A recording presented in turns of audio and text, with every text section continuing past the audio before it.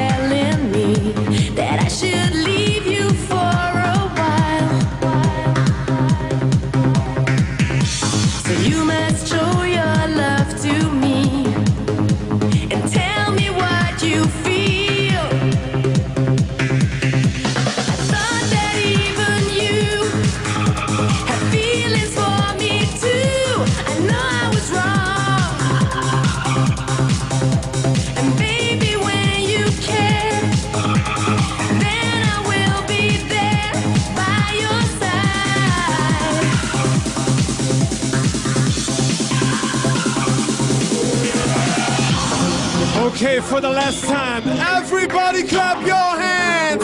Come on.